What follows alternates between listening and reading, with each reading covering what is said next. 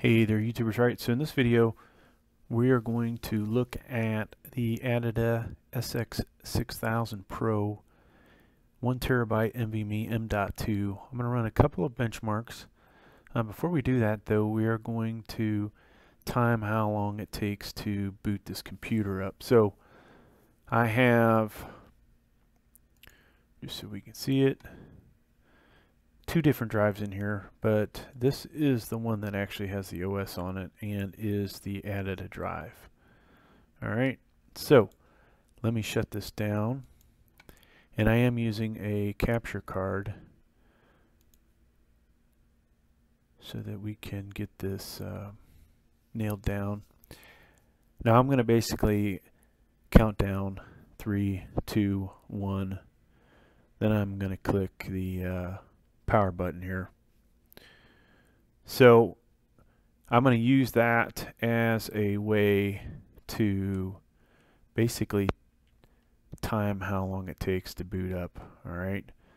So I'm also going to stop moving the mouse exactly when I click the button. All right. Three, two, one.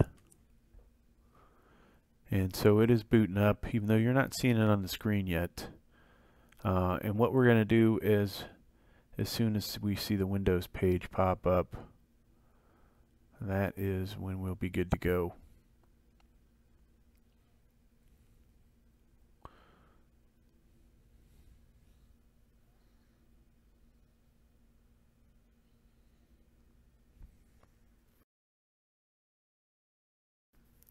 And boom. So it is done, folks. Um, I'm going to pause this and actually I guess I don't. You guys can't see what my password is. Alright. So there we go. Now, I've got a couple things on here. We'll do crystal benchmark and we'll also do uh, user benchmark. So let's get that going. And we will also compare that to there is a Silicon Power one terabyte in here okay? So this is kind of like the battle of the hundred dollar one terabyte drives. So right now we've got it set up for C which is the Silicon and I'm going to go ahead and hit all and we will uh, get the read writes for it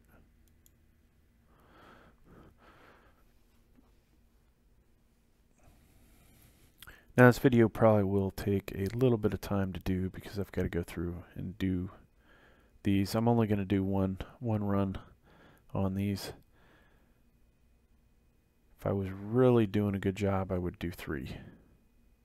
Right, so this was a, a real experiment. We would do at least three of these.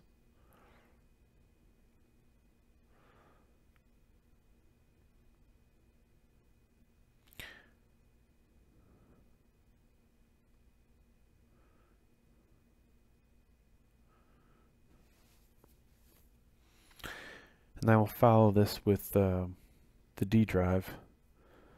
And then we'll do user benchmark because it's going to do both drives at the same time. And it'll score them. And they'll give you a little bit idea of at least which one they think is a better drive. And you'll be able to see the read writes side by side. So what I will do, I think, when this is done, I will make a uh, screenshot so we can we can compare this as soon as the other one's done.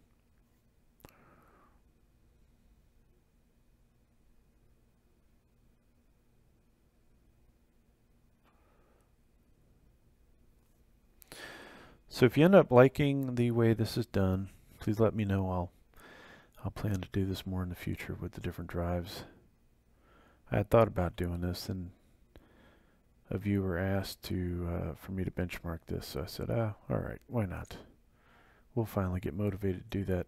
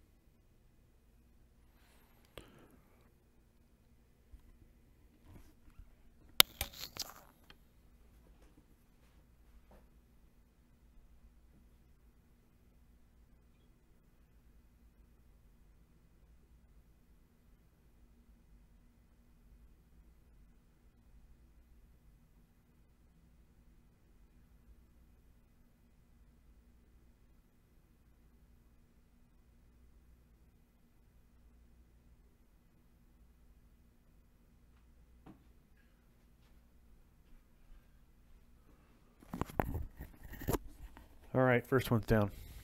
So let me do a screenshot real quick.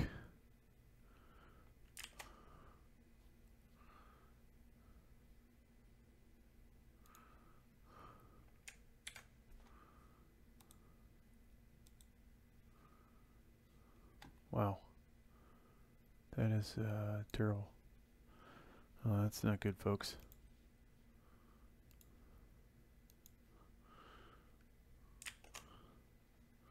Let's try that again.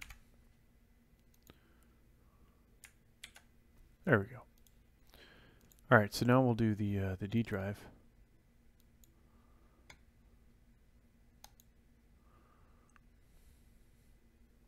which is the Silicon Power one.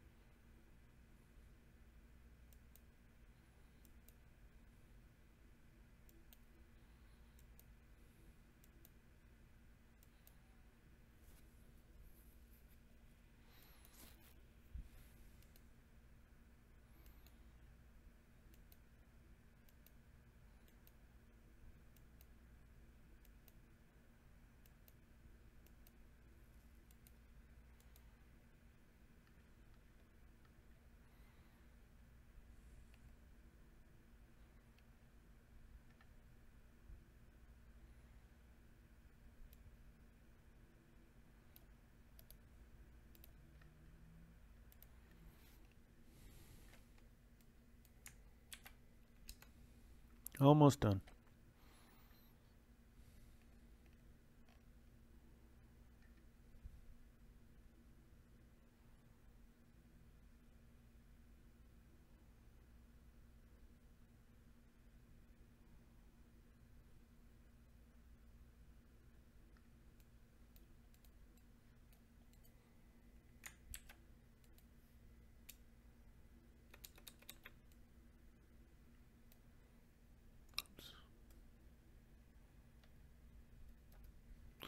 All right, so it's done. Let's compare it to the other one. So you can see if you were to be trying to choose between these two, at least with CrystalDiskMark, that the Silicon Power is ever so slightly faster for reading as well as writing.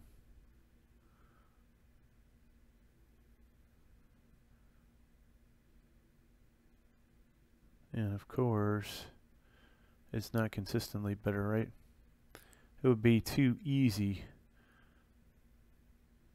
for that to be the case.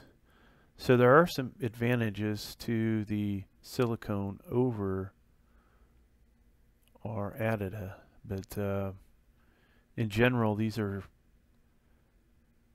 relatively close. And this one's interesting. This one's higher than that, but this one is higher than that guy. Um, so in some aspects I'd almost say this is a, uh, toss-up. You can see that here. This guy is higher than that one, but this one is higher than that. So um, you can't really give you a definitive which one's better. So I'll leave that up to your eyeballs and your decision. Um, feel free to comment down below if you have a feeling that one is much better than the other based on what you see here. So let's go ahead and run Crystal, not Crystal Dismiss, user userbenchmark.com's thing and we'll see if we can get some other numbers here.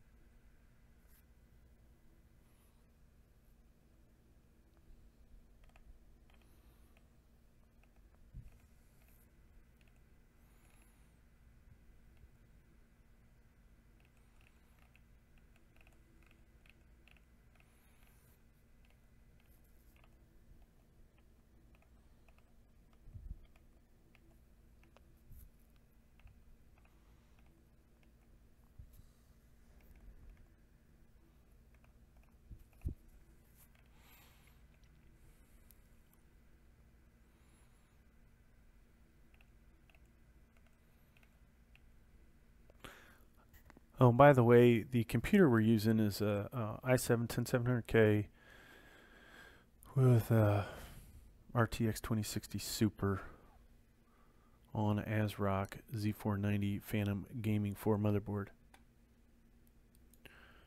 Alright, so this is good. 1% background CPU usage. It's pretty decent uh, gaming score, desktop score, but what you guys care about is down here.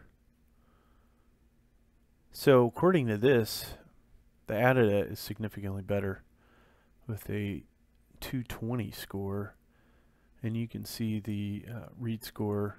So once again though, this is one of those things where it's just because this says one thing doesn't necessarily mean it's better for what you need. You will see a superior read score, it looks like, compared to the Silicon Power. Now, write score though was lower than the Silicon Power, so you will see some things in here that uh, you know may not actually make it better for you. And we look at the uh, what they've got for 4K. You can see that the Silicon Power writing those type files might actually be better. Um, so there you have it, folks. I hope you got something out of it. Um, we showed you how long it takes to boot up. Then we also provided you with a couple benchmarks. Thanks for checking out the video. I hope this helped you.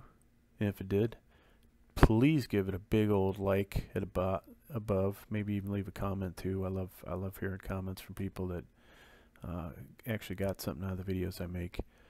And uh, consider subscribing. Thank you.